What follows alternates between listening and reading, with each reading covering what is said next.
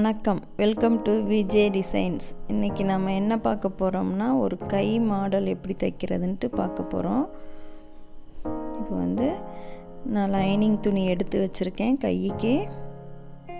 முன்னாடி ஒரு அரை இன்ச்சு அளவுக்கு ஒட்டு ஒரு கோடு போட்டுக்கோங்க. அதுக்கப்புறம் கை எந்த அளவுக்கு இருக்கோ மார்க் பண்ணிக்கோங்க.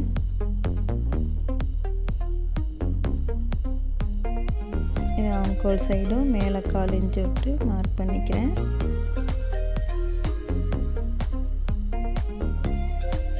இப்போ வந்து கையை வளைச்சி மார்க் பண்ணிக்கிறேன். இது வந்து கொடைஞ்சி முன் பக்கத்துக்கு கொடைஞ்சி விட்டுறதுக்காக அந்த கீழே ஒரு கோடு. ஆனால் நான் இதில் க கட் பண்ண போகிறதில்ல மேல் பக்கம் மட்டும் கட் பண்ணிக்கிறேன்.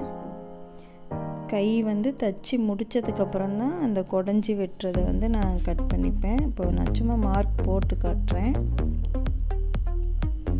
இப்போ கை பகுதி வந்து நான் இதை கட் பண்ணி எடுத்துட்டேன். சென்டரில் அர்க்காத் பண்ணிக்கோங்க. அதே மாதிரி கீழ் பக்கமும்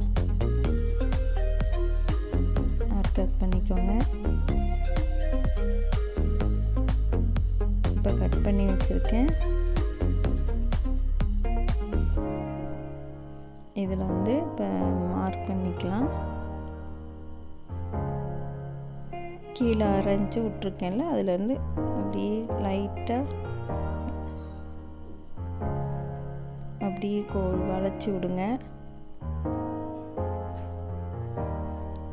அப்படி வளைச்சிட்டு அதை கட் பண்ணி எடுத்துடலாம்.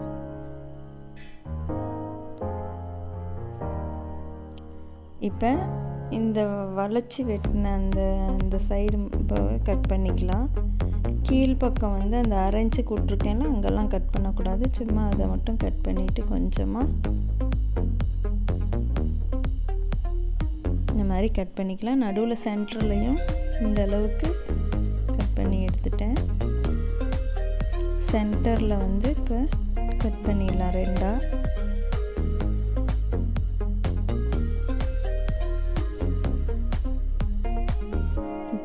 மேல் துணியை வச்சு கட் தையல் போட்டுக்கலாம்.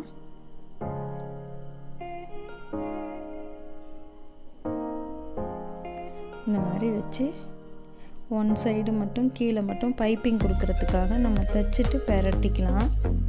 ஒரு அரைஞ்சு நான் மார்க் பண்ணியிருக்கேன்ல அதுலேருந்து வந்து அப்படி மேல் பக்கம் வரக்குள்ள கொஞ்சமாக கொஞ்சமாக வளைச்சி இடத்துல ஓரத்தில் அப்படியே த சுற்றி தையல் போட்டு விட்டுக்கலாம் அப்படியே நேராக போட்டுட்டு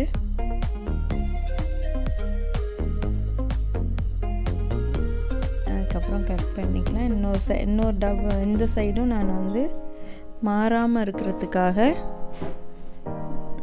அதனால் நான் அப்படியே தைச்சிட்டு அதுக்கப்புறம் வந்து கட் பண்ணிப்பேன்.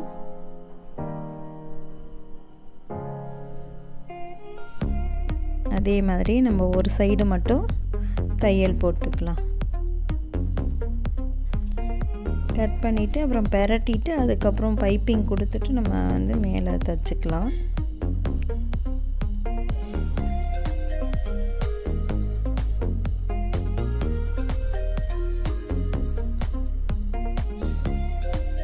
இந்த மாதிரி நம்ம வந்து தச்சு வச்சுருக்கேன். இதில் வந்து அப்படியே ஓரத்தில் மட்டும் கட் பண்ணி எடுத்துடலாம். அப்படியே கட் பண்ணிவிட்டு தனித்தனி பீஸாக கட் பண்ணி எடுத்துக்கலாம்.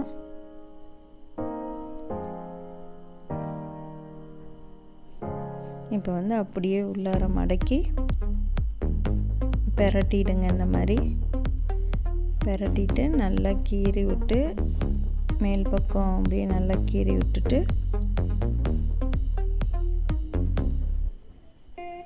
மாதிரி எடுத்துக்கோங்க.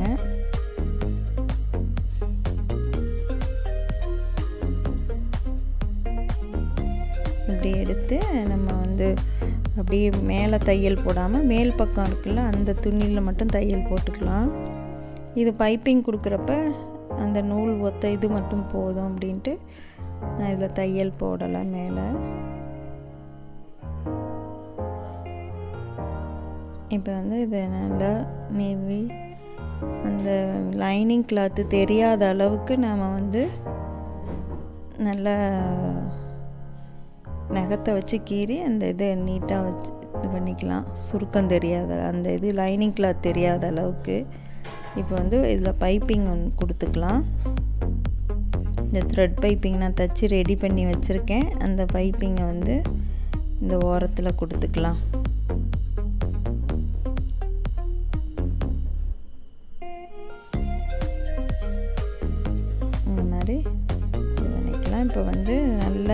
சுருக்கம் இல்லாமல் எடுத்துட்டு இதில் வந்து இப்போ நம்ம லைனிங்கை மேல் பக்கம் வந்து தையல் போட்டு எக்ஸ்ட்ரா பீஸ் எல்லாம் கட் பண்ணி எடுத்துடலாம்.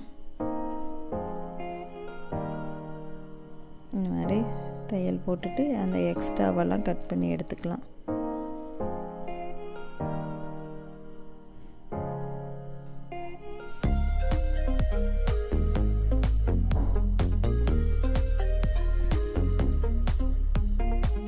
சுருக்கம் வராத அளவுக்கு நம்ம வந்து கட் பண்ணிக்கலாம். அந்த மாதிரி சுருக்கம் வராத அளவுக்கு நம்ம வந்து நீவி விட்டுட்டு இது பண்ணோம்னா மேலே சுருக்கம் தெரியாது. அதனால் இப்போ வந்து இந்த தைச்சிட்டேன். இந்த கட் பண்ணி எடுத்துக்கிறேன். இந்த எக்ஸ்ட்ரா பீஸ் எல்லாம் கட் பண்ணி எடுத்துட்டு.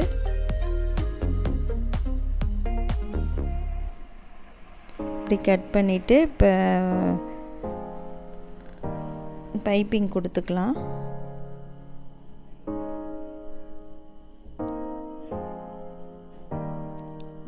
இந்த த்ரெட் பைப்பிங் நான் ஏற்கனவே வீடியோ போட்டிருக்கேன். இது ப த்ரெட் பைப்பிங் தைச்சி ரெடியாக வச்சுருக்கேன் கோல்டு கலரு அதை வந்து நான் தச்சுக்கிறேன். அப்படியே ஓரத்தில் அப்படியே த ஓரத்தில் த்ரெட்டு மட்டும் தெரிகிற மாதிரி அந்த பைப்பிங் கொடுத்துக்கிறேன்.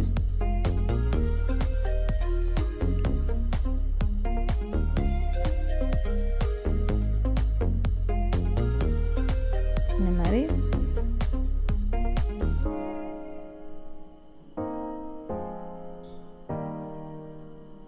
இந்த மாதிரி தச்சு எடுத்துக்கோங்க. ரெண்டு சைடும் இந்த மாதிரி தச்சுக்கோங்க.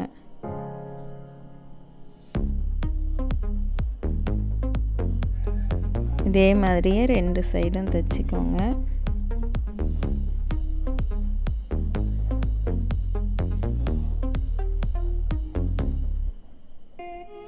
நல்ல ஓரத்தில் அந்த இது தெரியாமல் நல்லா நீட்டாக பைப்பிங் த்ரெட்டு பைப்பிங் மட்டும் தெரிகிற மாதிரி நல்லா ஒட்டி தையல் போட்டு விட்ருங்க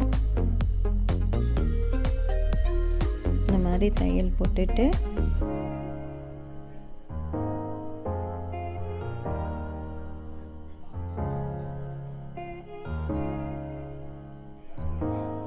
இதே மாதிரி தச்சு எடுத்துக்கோங்க. வந்து இதுக்கு மேலே நம்ம வந்து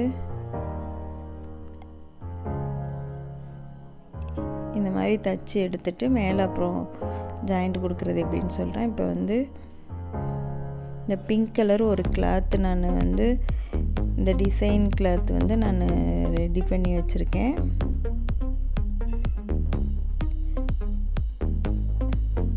இந்த எக்ஸ்ட்ராவாக அந்த வெட்டணும் பார்த்திங்களா மீதி இருக்கிற பீஸை வந்து இதில் வச்சு நம்ம வந்து இந்த அளவுக்கு மார்க் பண்ணிட்டு நடுவில் இப்படி வச்சு தைக்க போகிறோம்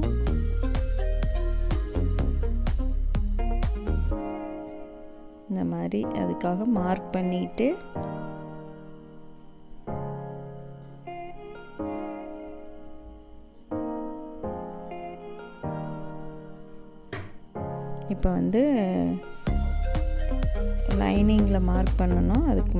கொஞ்சம் நான் மார்க் பண்ணி காட்டுறேன். இந்த மாதிரி மார்க் பண்ணிக்கணுன்ட்டு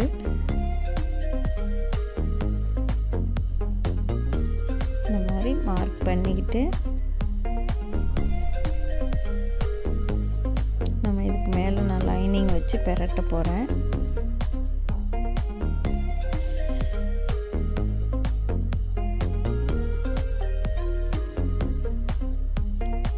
புதுசாக கற்றுக்கிறவங்களுக்கு கொஞ்சம் சிரமமாக இருக்குன்ட்டு நான் இந்த மாதிரி மார்க் பண்ணி பொறுமையாக காட்டிகிட்ருக்கேன்.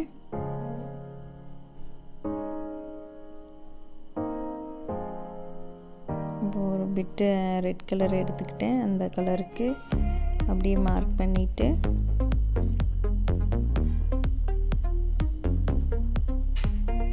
இந்த அளவுக்கு எடுத்துக்கோங்க. ரெண்டாக வச்சு கொஞ்சம் இந்த மாதிரி மார்க் பண்ணி ரெடி பண்ணி எடுத்துக்கோங்க.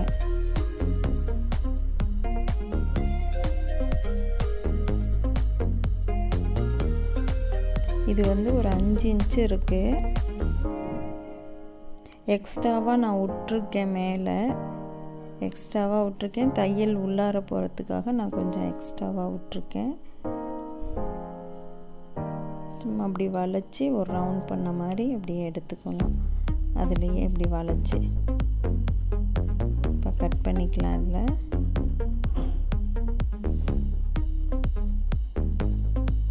இந்த மாதிரி கட் பண்ணிவிட்டு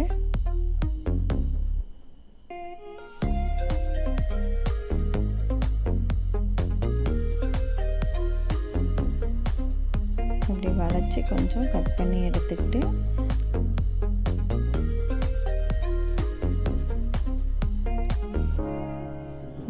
இதை வச்சு நம்ம அப்படியே தைச்சி பரட்டிக்கலாம்.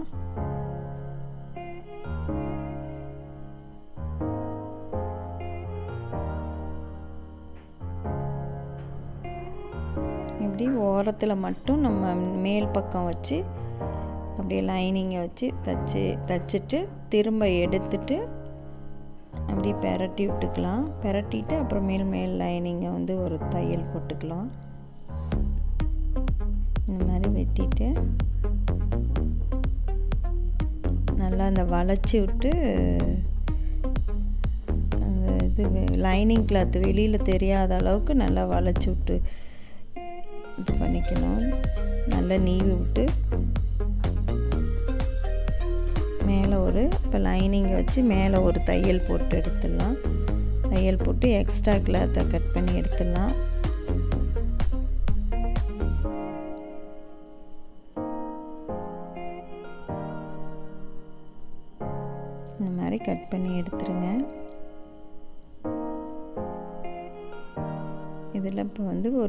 ஒரு ஒரு லேஸ் வச்சு நம்ம தைச்சிக்கலாம்.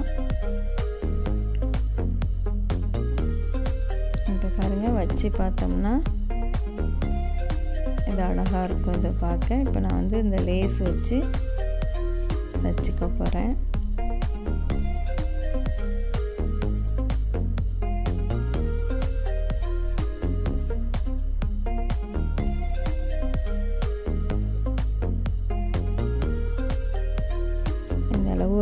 லேஸை வச்சு ஓரத்தில் அப்படியே தையல் போட்டு விட்டுலாம் நல்லா ஓரத்தில் அப்படியே தையல் போட்டு விட்ருங்க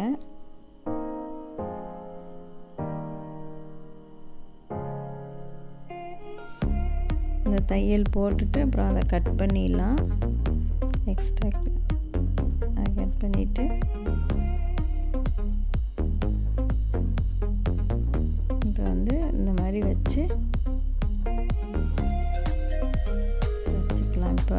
இப்போ தைக்கிறதுக்கு மேல் பக்கம் வந்து ரெண்டு பக்கமும் ஓப்பன் பண்ணி த்ரெட் பைப்பிங் வச்சுருக்கோம். அதில் வந்து சென்டரில் வைக்கிறதுக்கு ஒரு துணி கொடுத்து பரட்டி தைக்கணும்.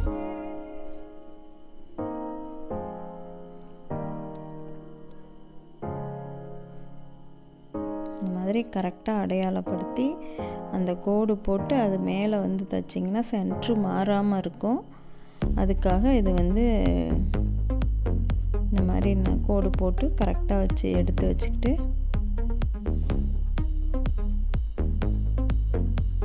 இதுக்கு மேலே வந்து இந்த கொஞ்சம் இந்த துணி எக்ஸ்ட்ரா இருக்குல்ல அந்த துணியை வச்சு கொஞ்சம் ஒரு பட்டையாக இந்த மாதிரி தச்சு பெரட்டி எடுத்துக்கிறேன்.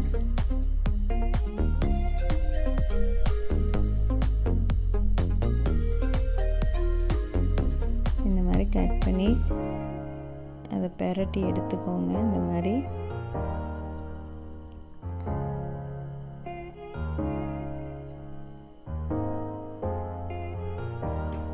இப்படி பெரட்டி எடுத்துட்டு.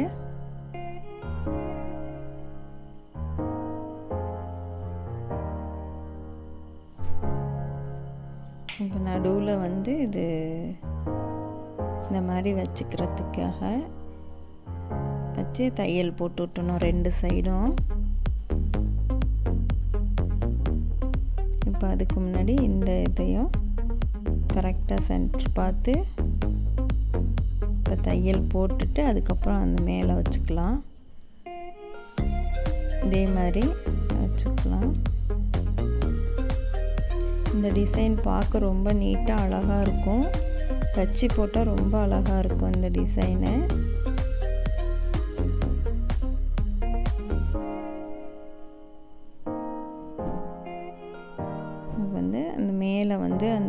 க இப்போ பெரட்டி வச்சுருக்கேன்ல அதையும் அப்படியே நடுவில் வச்சிடணும் இந்த இதுலேயே. இப்போ நடுவில் வச்சுட்டு நான் அப்படியே மேலே தையல் போடுறேன். இப்போ அதே மாதிரி இந்த பக்கம் ஓரம் அந்த பைப்பிங் இருக்கிற சைடும் அந்த ஓரமாக அப்படியே தையல் போட்டுக்கிட்டே. அப்படியே ஓரத்தில் தையல் போடணும்.